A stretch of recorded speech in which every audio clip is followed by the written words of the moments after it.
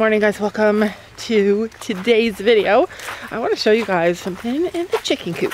I put a pumpkin in there today and they do not know what to do with it. I'm probably not going to be able to catch it, but look at that. That's one thing about breeding chickens. Sometimes you get like a diamond in the rough.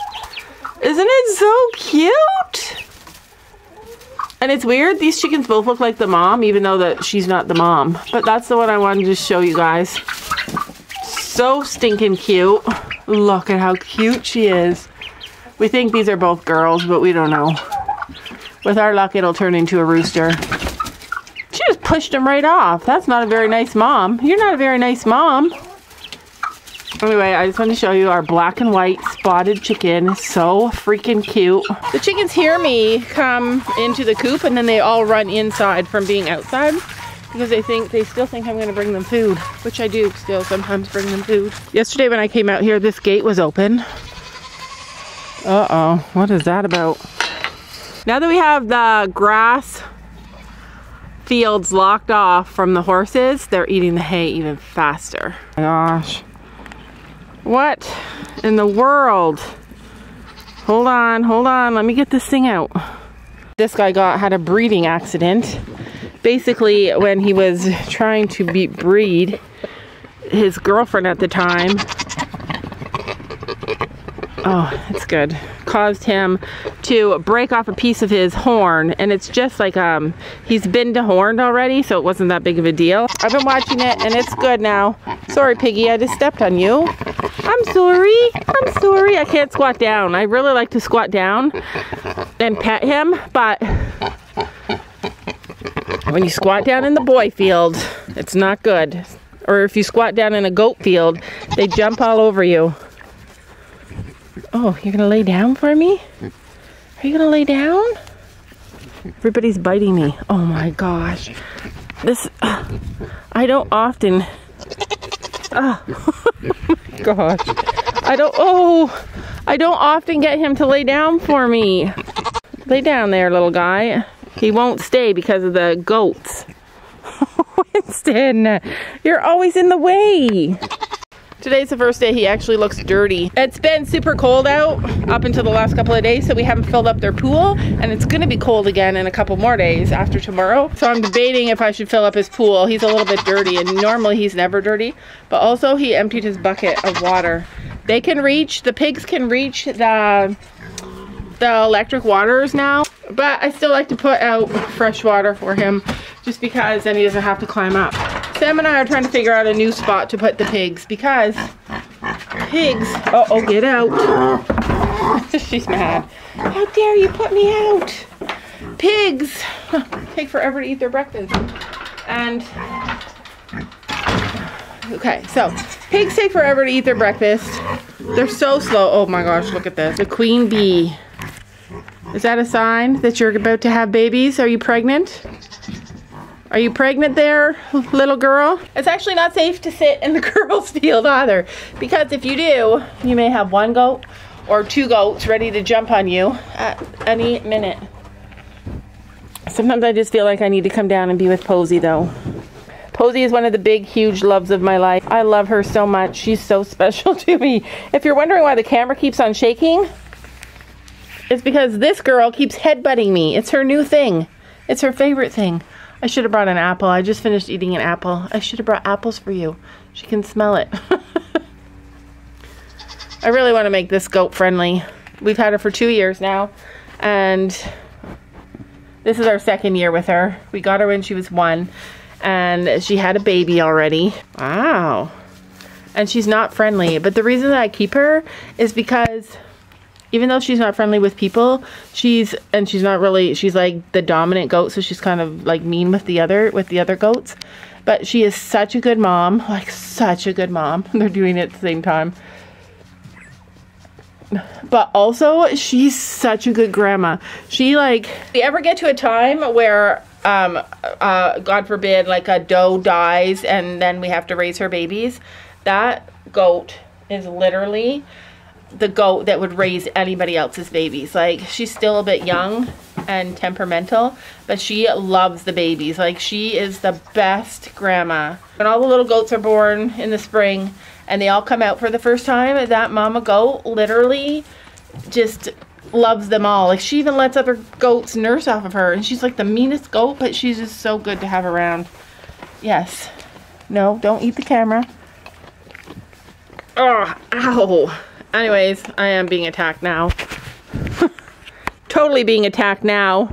Hi, Lola. But it's only when I'm down here and I'm quiet and I'm just sitting here and hanging out. That's the only time that these guys come up to me in the field.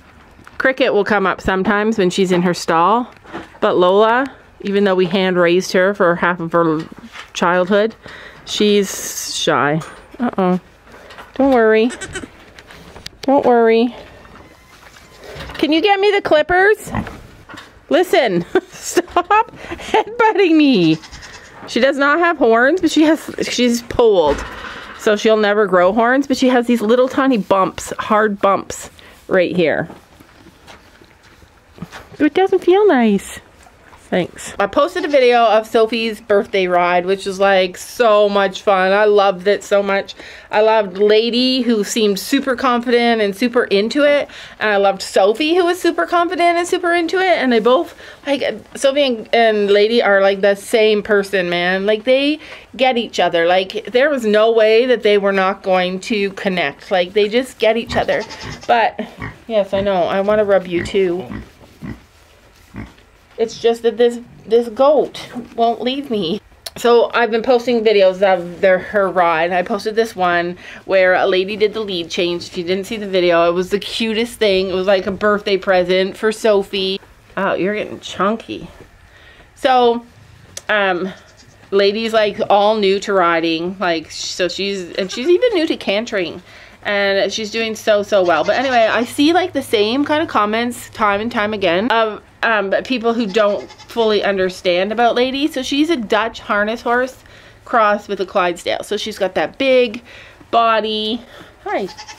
And she is super strong, but she still has like her face and her markings and her color and everything really looks like a Clydesdale. But her back end, she has the back end of a Dutch harness horse. And someone in the comments said that they thought when Lady Canter, she looks like a Friesian cantering.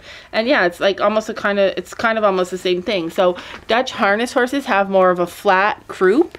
Because their croup is flatter, um, they move differently. Like they just move differently. Perfectly designed for pulling a cart because of that flat croup. It helps them to get more ground covering strides, I guess is what I should say, I guess is what I mean. And so she's perfect for that. She's built for pulling a cart, which is what she did. That doesn't mean that she can't jump and she can't do other things. It just means that she has a different body. She has a different body type. It's different conformation and a different body type than like um, quarter horse. Definitely gonna look different. She's strong though. That girl is strong. When we first got her, her back end, oh, you're so cute. Her back end wasn't as strong in the canter because she hardly had ever cantered before. But Sophie's worked her up, but she's worked up really, really well. Like she's really good at it now. Like she's, she likes to canter. She's, she's getting, she used to have some anxiety in the canter and she's getting better and better every single ride. And, and her and Sophie are doing fantastic together. But I just wanted to share that with you about the conformation about her breed. She's built like her breed. And so uh, probably for the rest of her life when she canters, she's always going to have like that, that that flat croup. Like she's always going to have it. It's just how she's built. You don't have to worry. She's okay. It's just her body. It's just how she's built. Right? like, honestly. Oh my gosh, where were you? You stink. Oh, where was she? Oh my gosh. Well, guess what? You're getting a bath. Every time I come out here and I lay with her, I like try and trick her into letting me cut her toenails. and usually I can cut like half of, like I can cut one foot at a time before she throws a little fit and jumps up. So I'm going to try and do that. But I also wanted to say, wait, lay down there. I also wanted to say though that I love all the different breeds. Don't roll down the hill. Oh my goodness. I also wanted to say that I actually love all the different breeds that God has brought into our life because we've been able to learn so much. Like reading up on the harness horse and the Clydesdale and all the th things has really taught us so much. And you can't know everything about every horse and every horse breed until like until a time comes where you're interested in that. So I'm definitely thankful for all the knowledge that Lady's bringing into our life.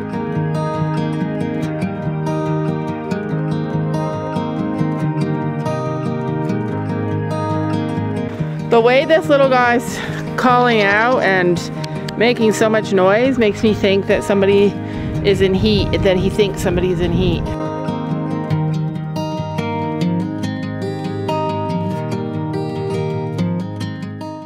It is still glorious weather out here. It's a little bit cooler than it is during the, like it, when it gets really hot in the day, it's only for a couple of hours. What are you doing? Are we ready to?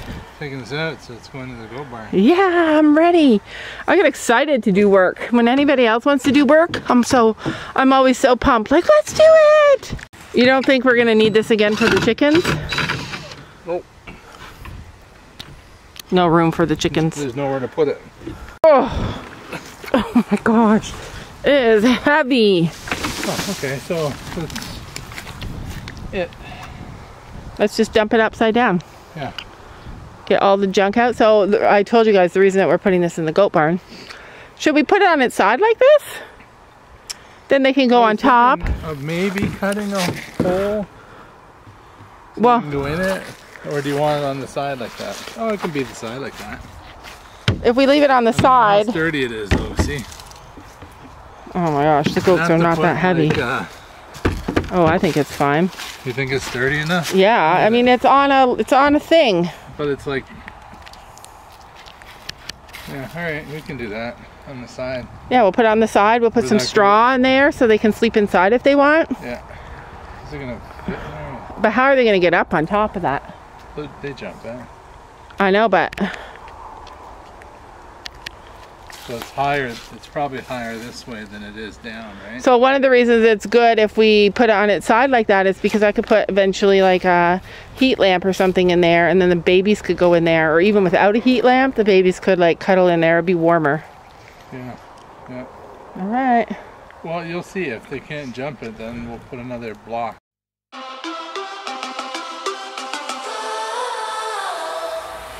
Never too old to swing, you guys. Never. It feels amazing no matter how old you are.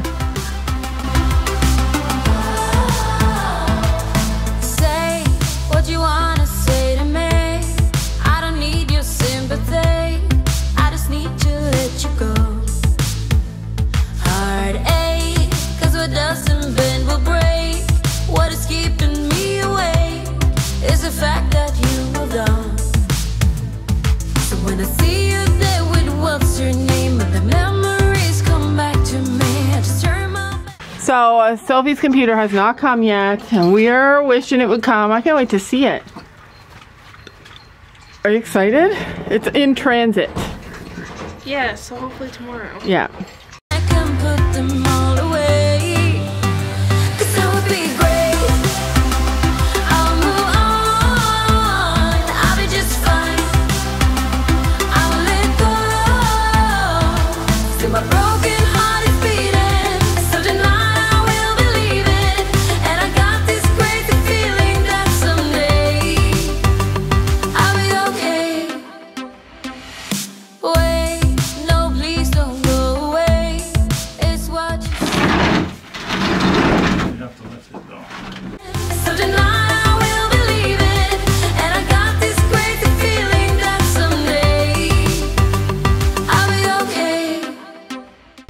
We are gonna see who's gonna get it.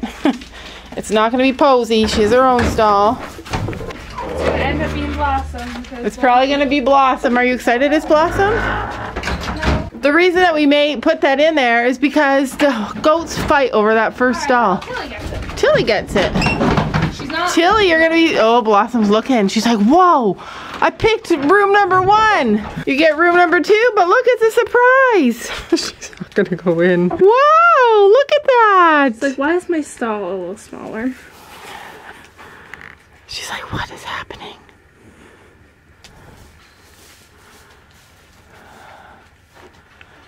It's fit for a queen. I don't think she's gonna be able to get up on that. I think she will. Get up there. You'll be the queen. Uh oh, she's figuring it out, you guys. Goats are smart. This is how they like destroy life because they just spend all their time figuring things out. Come on, get up there. You should put her food up there and see if that works. We're gonna step away and see what happens because in my experience, everything happens. Everything happens when you're not looking. She wants to go up, but she's afraid of the jump. Sophie says it's too big of a jump. I don't think it's too big of a jump. Goats are like Houdinis. Oh, that box is slippery. That's why. All right, we're gonna try move it back a bit. I don't think that's gonna work, but it's not slippery. It's too small. Yeah, too small. She's like, wow, it's like Christmas for me. Try that one. Well, we'll come back in the morning and she'll be up there.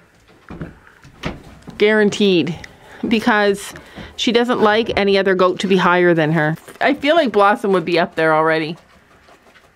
Blossom's a chicken. Right. On she really wants it. We're gonna leave. We're gonna leave. I don't know how she got so friendly. Because you babied her. You I her I held like... her like three times and poof, she was friendly. She's a sweet Right. goat. She definitely likes the brick better.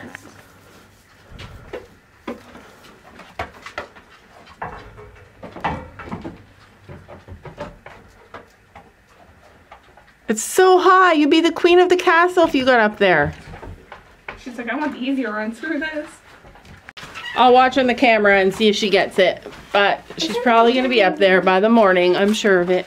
Night, everybody. See you guys tomorrow. Don't you know that you're beautiful?